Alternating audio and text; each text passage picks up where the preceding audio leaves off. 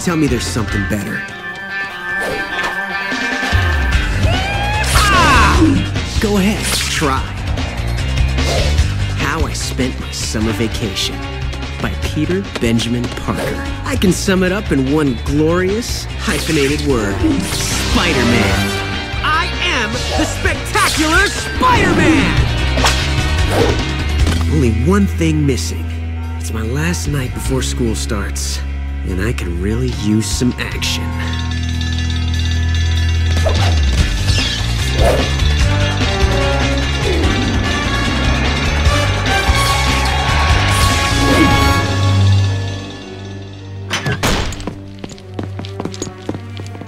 Did I tell you? One getaway jump to the next building and we're a million bucks richer. This ain't no million buck haul. Not after the big man takes his cut anyway. Ah, shut up and jump. Oh, no, not again. Yep, again. what is this, Marko? Like the third time this summer? Just wait till I get my hands on you, you skinny little creep! Okay, so Marko, now tell me.